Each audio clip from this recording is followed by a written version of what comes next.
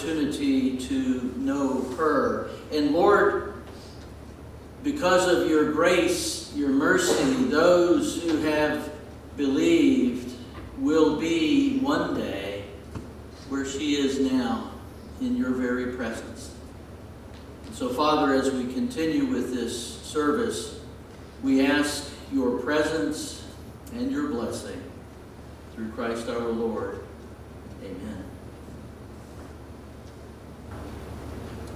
Reading from the Gospel of John, chapter 3, verses 9 through 17.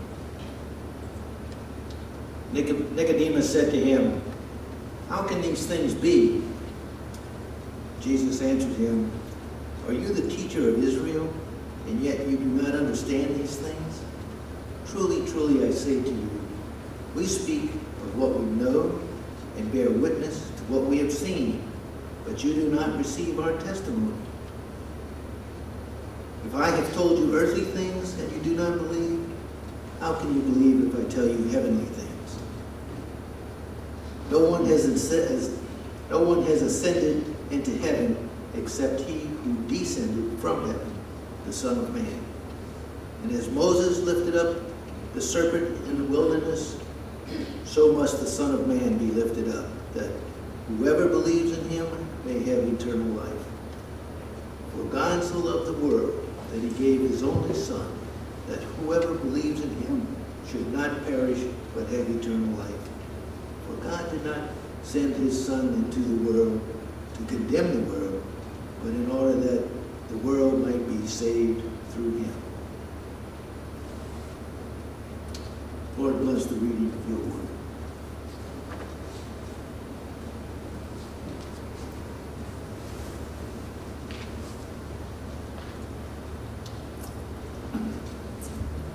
Alma Jean had some things to say about this day, even though she's not here physically with us today.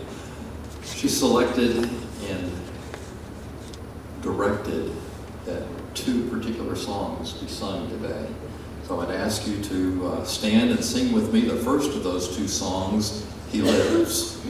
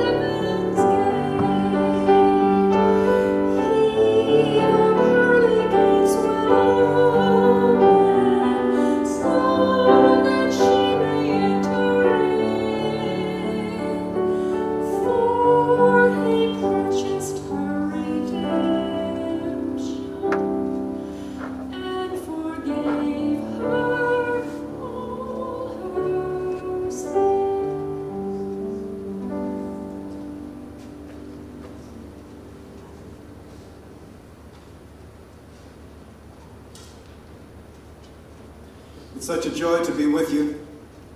And uh, it was a joy to be with Alma, with Alma and Carolyn.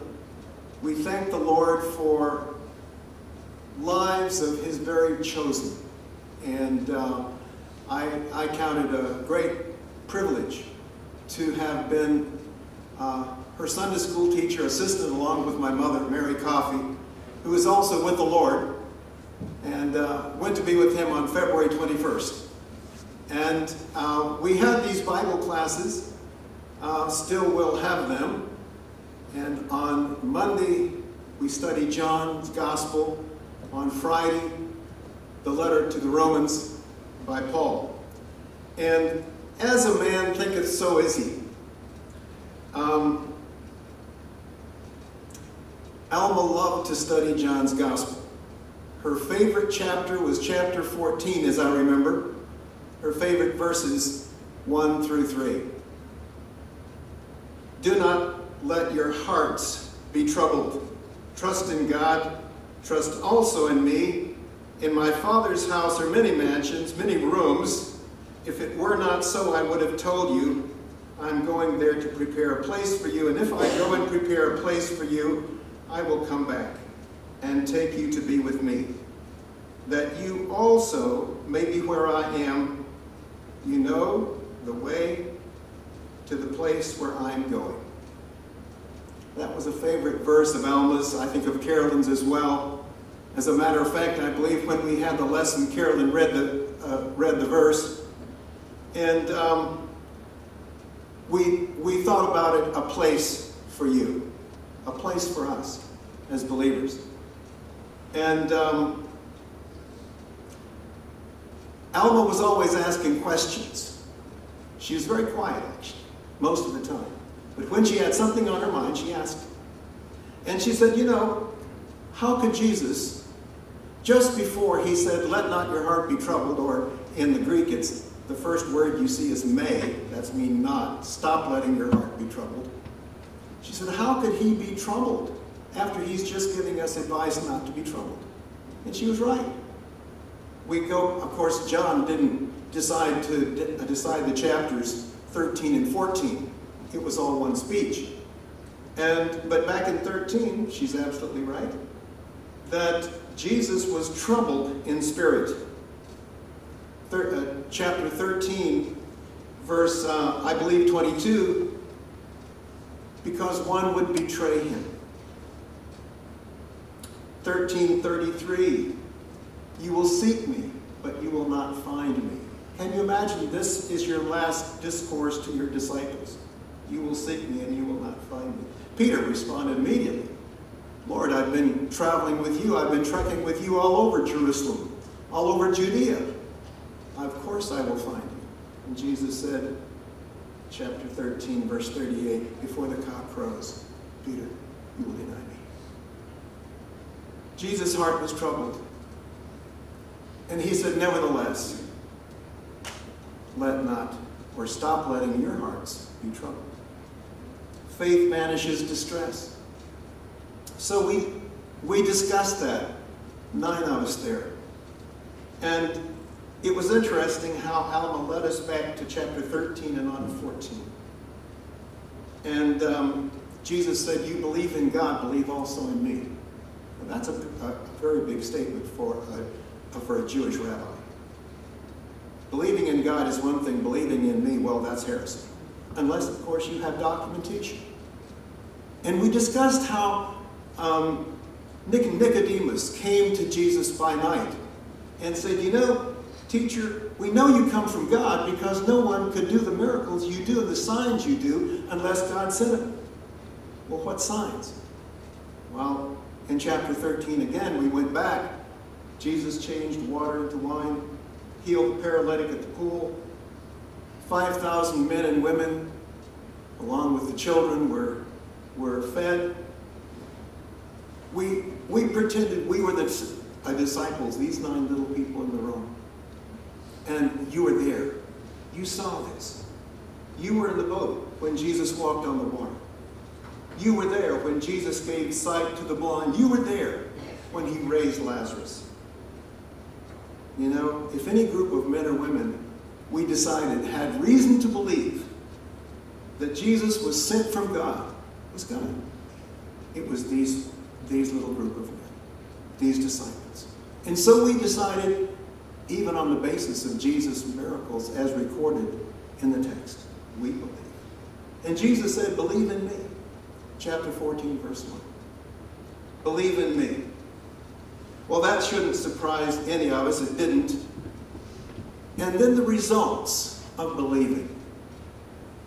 In my Father's house are many mansions. Well, I don't think that's the best translation. I go back to the old King James here, where it said, In my house are many rooms. And I remember my mother put it at that point, What do you mean rooms? Is it not suites? And I said, I'll look it up. So we looked it up, and, and indeed it was. It was suites.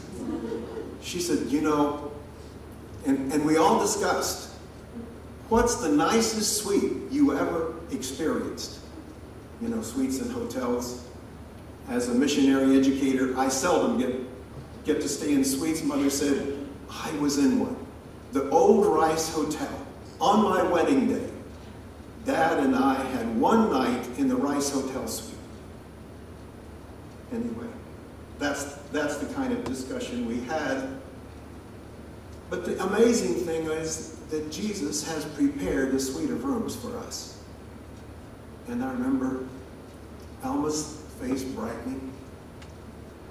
And he didn't leave it there. She said he didn't leave it there. He said, I'm going to prepare a place for you and come again, but I'm going to take you to be with me.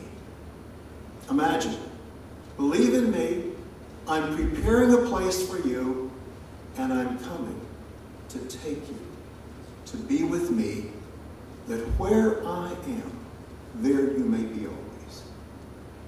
Well, we discussed it, and uh, we all agreed. Jesus has prepared the suite of rooms, the reservation is ready, and all it takes is for us to receive the reservation and go to let him take us to be with him. And uh, mom said on February 21st, she, she said, David, I'm, I'm, I'm dying. Um, you know, I'm not afraid of death, but I'd rather put off dying. And I guess that's the way we all are. But then she held her two little fists up and she said, Take me, Jesus. And then she looked over at me and she said, You have work to do. You stay here. I could not believe her presence of mind. But you know, Alma and Mom were very much like that. They were waiting for Jesus to take them. And the pangs of the terror of death, yes, it does have terror. We know that death has no ultimate fear for us because Jesus is taking us to be with him.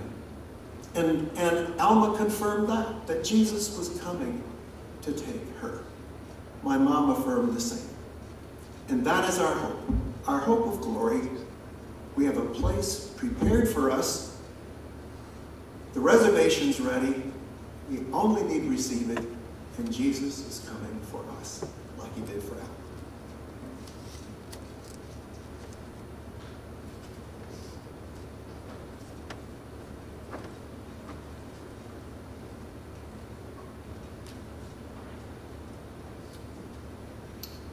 Thank you, Dr. Coffey.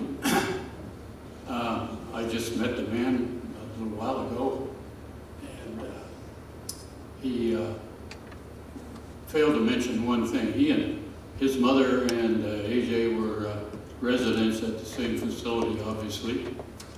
Uh, But he said she died, went to be with the Lord one month before she was 111 years old and uh, the oldest person in, in Houston, I think you said. The oldest person in Texas. Yeah, okay.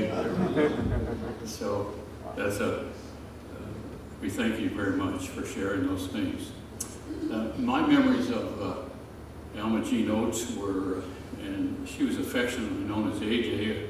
Go back uh, many years. Uh, I first met her 53 years ago uh, in 1967 when uh, Barbara and I moved to Houston from Denver uh, with our two very young girls. Uh, we settled in uh, southwest Houston, and at that time, uh, AJ lived nearby, and our fledgling assembly met in her home frequently for midweek uh, prayer times and special events, uh, since we did not have a church building at the time. And we, we met on Sundays at a school that was uh, nearby uh, our homes. Uh, like Priscilla and Aquila and uh, Gaius' homes in Romans 16, her home was a frequent meeting place of the church where we always enjoyed her hospitality collectively.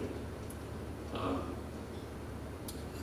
she was always a meticulous hostess, and we instructed our small girls not to uh, move or touch uh, many of the very, very interesting collectibles she had all over her home on the share, on shelves and tables. Uh, those things uh, were uh, special to her, and uh, we knew uh, we they were non-touchable by these by our little girls. Uh, it was always a treat to go to her home for a snack or a meal, as uh, special treats always appeared, and they were they were not our usual fare at home. So she always uh, had a desire to be with, with God's people uh, then, and uh, that desire stayed with her for all the days that, that I knew her. Uh, even at the end of her life, uh, she made uh, a very strenuous effort to come to all the services that she could possibly attend. Even employing staff at her uh, living area to help her to attend. The second time I, I moved to Houston, or my family moved to Houston, we again moved to southwest Houston. And our growing church purchased land uh, near uh, both of our homes with a large uh, farm home on it. That was at the corner of uh, Bissonnet and Gessner primarily, and that was all farmland uh, at the time. Uh, So we, we used that home that had the, the large farm home for our meeting place while we built uh, Braeburn Bible Chapel. And uh, it was right next to the large home that we used for church during that time. And AJ's husband, Wallace, uh, would, uh, he served uh, as an elder uh, there, and uh, AJ served alongside him in all of the things that elders' wives do and are unseen and many times uh, unknown. During those years in the 1970s, Wallace would invite various men's and youth groups to their home on uh, Bay uh, to enjoy fishing or water skiing or just uh, relaxing. And AJ was usually there to cook or make sure the group was well entertained, uh, housed, and uh, fed. She and Wallace were, were famous for their uh, fried fish taken fresh from the bay that day. Everybody uh, looked forward to that. When AJ was left a widow, she was still very interested in the affairs of First Colony Bible Chapel and attended all the meetings uh, regularly. Several women took special interest in caring for her in her latter days, for which I know she was very grateful. And special thanks are due to those ladies. Carolyn, too, took special care of her mother while also trying to maintain her missionary efforts in Austria. Like Jonathan said to David in 1 Samuel, you will be missed because your seat will be empty. And we will miss AJ for her seat will be empty, but we're so comforted to know that she's with her Savior who loved her more than we can ever know.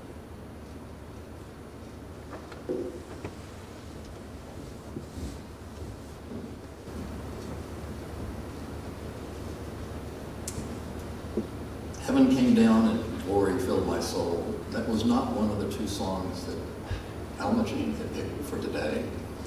But Carolyn asked us to add that today because that was the song Alma Jean particularly responded to in the last day of her life here on earth.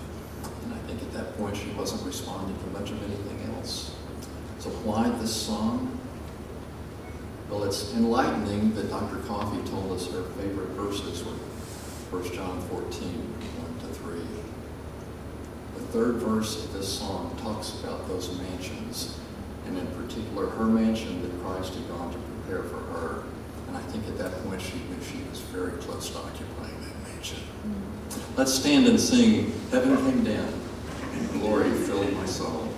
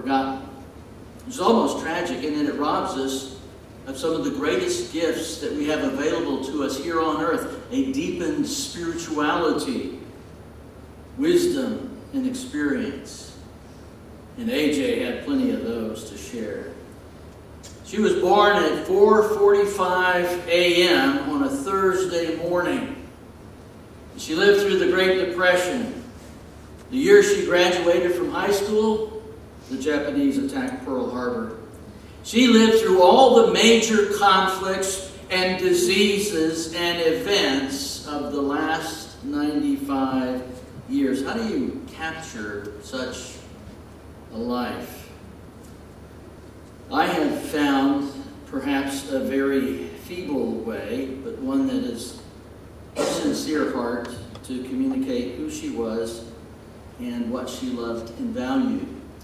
There, there's an Audi, Audi commercial, the, the, the car, uh, where a man clearly living in the future begins to wax nostalgic about the way things used to be before self-driving cars. He says driving wasn't just about being taken from place to place, but about going somewhere, feeling something along the way.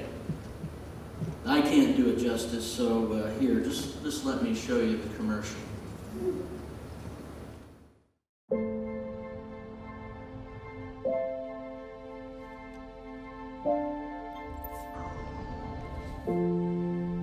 Evening, Clara. Home, please. David, what's on your mind? I was just thinking of a different time, is all. It was a time when I used to sit up there, you know. Driving wasn't just about being taken from place to place, but going somewhere. Feeling something along the way. Please, David, you should relax. I'm afraid that's just the problem. David, where are you going? David? David?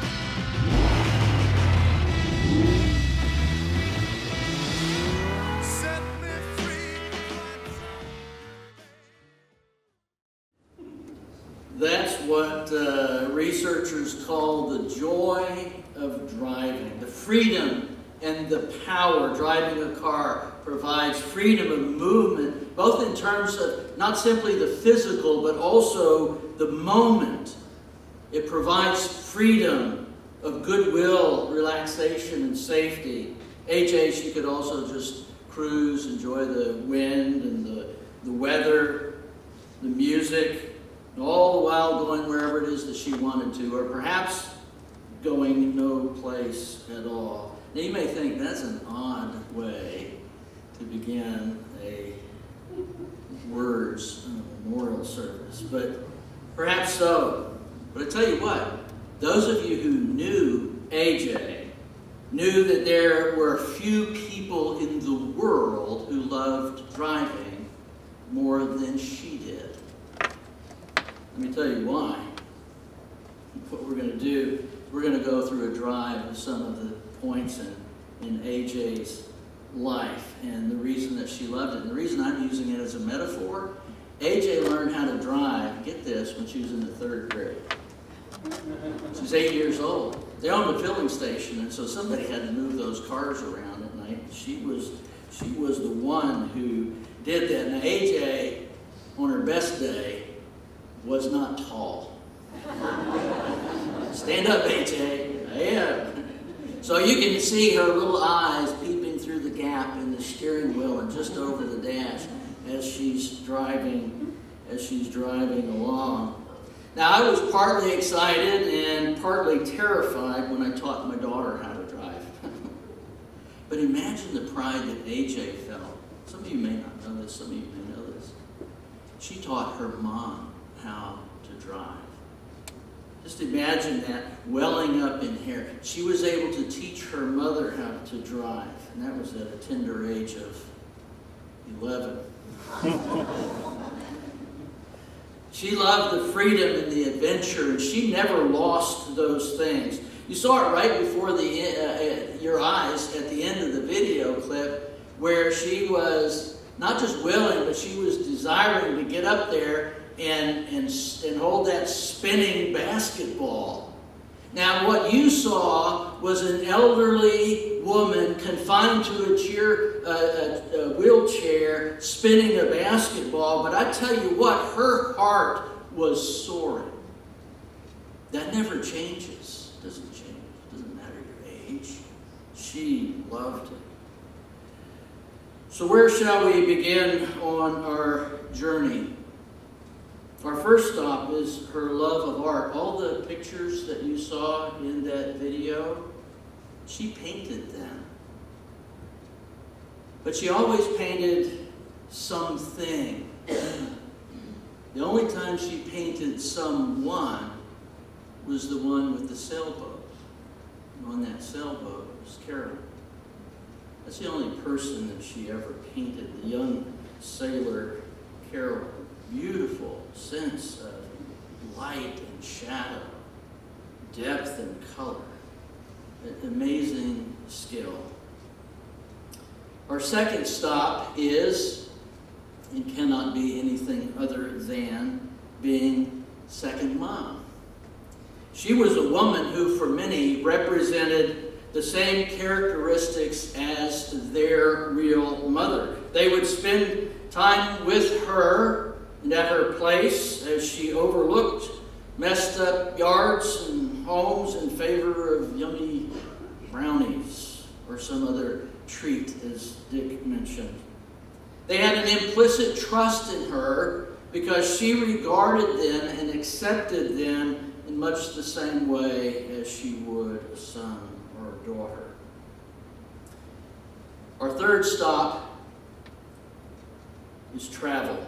She loved to travel. She went many places in her life, some with Wallace, some without, but that sense of adventure remained with her through all of that. That sense of desire for freedom was ever present. And while she enjoyed the destination, she no less enjoyed the journey. For a decade or more, she appreciated going down to Rockport, Texas, where the Oates and Littles would spend a week or two. The men would fish, fish, fish. Then the women would shop, shop, shop. She enjoyed camping with the Griffins, with the Greens. Among her many stops around the world, I just have to read this list. Hopefully, I've got them all France, England, Norway, Austria, Australia, Indonesia, Colombia, Switzerland, Spain, Sweden, Singapore, Hong Kong, New Zealand, Austria, Italy, Belgium, Germany, the Netherlands, and China, where she was so close to the Queen of England, she was able to describe her complexion and how smooth her skin was. And then I believe finally Israel. Our fourth stop is family. She and Wallace met at Humble Oil. Mm, you got to be a certain age to remember Humble Oil. Most of us know it these days as Exxon. She worked as a secretary. He washed rocks. What an interesting job. But that's not so menial as it may sound. One of my friends from Alaska, actually have three bona fide, big-time gold miners at the Chapel in Alaska. He said that all he did was to wash rocks for a living. If you don't wash the rocks, you don't find the gold. And so if Wallace didn't look at the rocks, they wouldn't find, as the Beverly Hillbillies song said, come and listen to a story about a man named Jed, a poor mountaineer, barely kept his family fed. Then one day he was shooting at some food, and up through the ground came a bubbling crude, oil that is, black gold, Texas tea. So after they married at the Louisiana Street Gospel Hall, off they drove to Acapulco, Mexico on their honeymoon. That was in October of 1953. Then a few years later, Carolyn was born and their family was complete. But finally, we come to the real drive in AJ's life.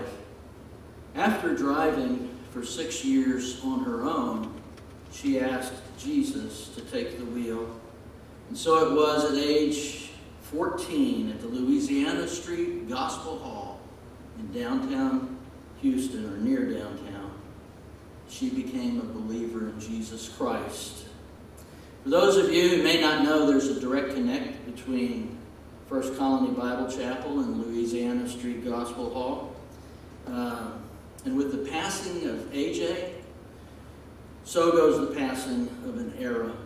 She was a member of the Gospel Hall.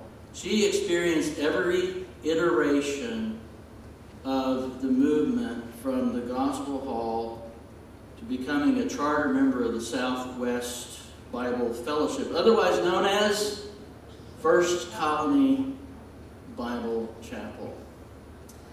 From the time she was saved for the following 81 years, AJ believed that God would drive her on the best roads with the wisest directions. For a time, she was the president of the Christian Women's Club. Carolyn remembers there was a long period of time when nearly every night, if not every night, in their home was filled with gospel meetings and Bible studies and working with children. With Jesus at the wheel, the driver and motivator of her life was her love for Christ. The Apostle John put it this way And as Moses lifted up the serpent in the wilderness, so must the Son of Man be lifted up, that whoever believes in him may have eternal life. For God so loved the world that he gave his only Son, that whoever believes in him should not perish, but have eternal life. For God did not send his Son into the world to condemn the world, but in order that the world might be saved through him. You know, the promises in this passage were particularly comforting to her. And her heart's desire was and is that those promises be comforting to you, both related to her death, but more importantly, to your eternal destiny. AJ was not shy about her commitment to Jesus Christ. John 3:16 was at the core of her very being. The promise of eternal life comes front and center when you're dealing with matters of sin and life and death. For God so loved the world that he gave his only begotten Son, that whoever believes in him should not perish but have everlasting life. What's everlasting life? Well, let me tell you a secret. You all have it. Oh my goodness, John, did you really say that? Yeah, I did. But not in the way you think. Every human being will live forever. That's not the question. The question is not whether you're going to exist. The Bible teaches that every human being exists forever. Death is simply a transition from this world to the next.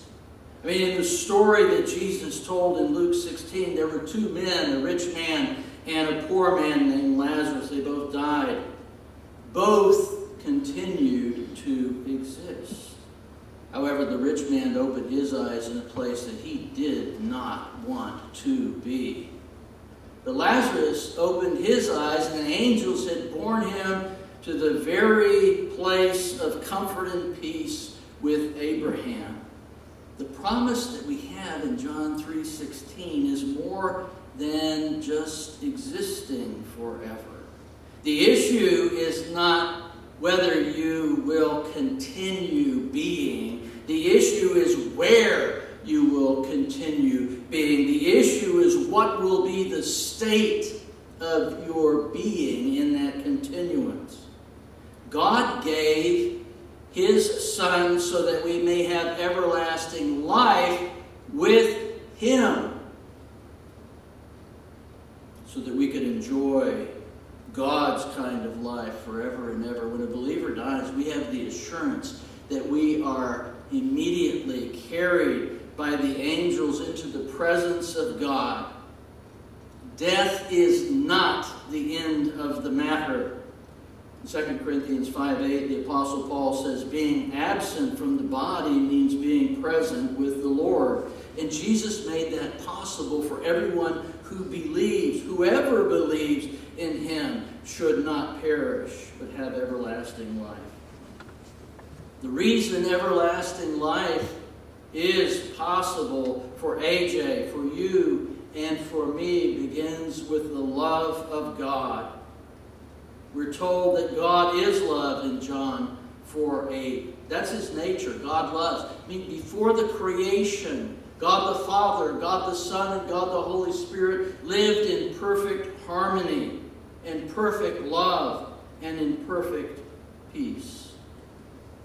Recall the message, if you heard last week. God looked at the works of his hands and he called it beautiful. Not only that, but our text tells us the extent of God's love. For God so loved, that love caused him to give the most precious thing that he had. He gave his Son in order to make everlasting life available to you. Do not underestimate the depths of God's love. That love can reach down to the lowest place and lift people like you and me, and even those that you and I don't think can be lifted. That love can deliver a soul from bondage and it can heal the hurts and the pains of the past. That love can restore our sanity, can give a desperate man or woman hope. I love the song, O Love of God. O love of God, how rich and pure, how measureless and strong.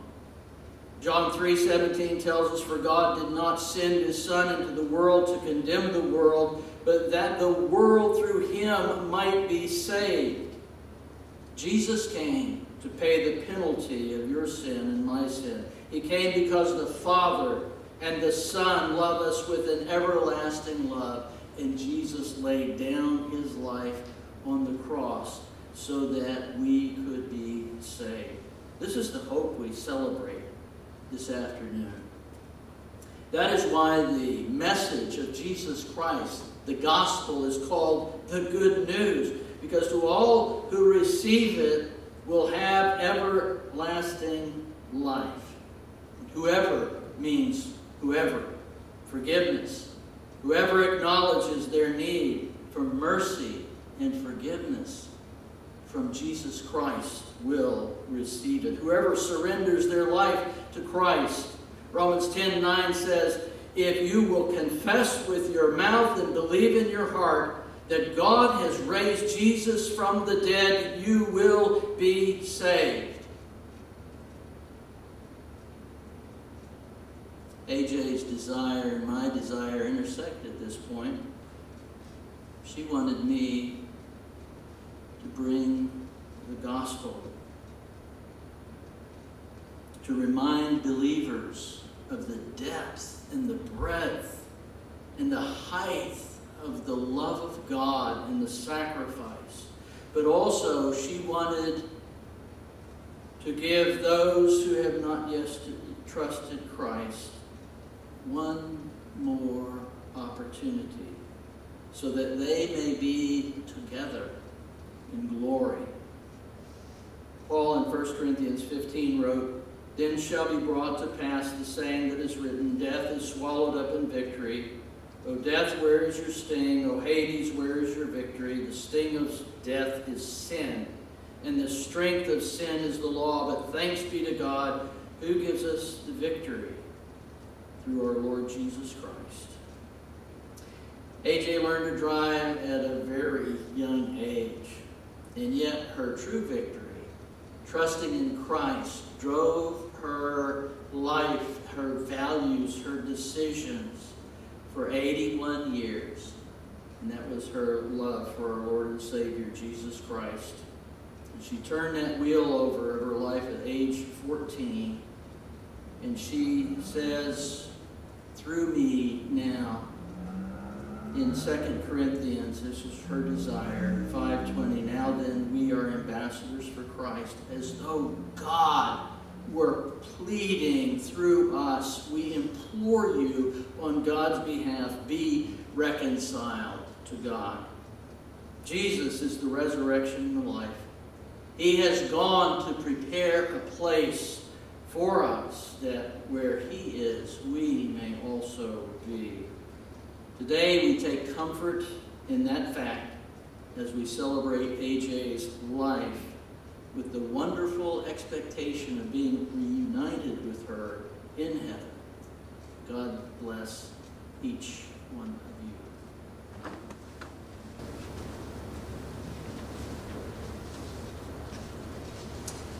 And now for the second song that Alma Jean chose for us to sing today, Because He Lives. I don't know what all contributed to her choice of these songs today. But when I look at this one, in verse 3, I see what she was thinking about death, what she as a believer knew death meant. And then I think the chorus is the lesson that she would have for us who are left here today. So let's stand and sing because he lives.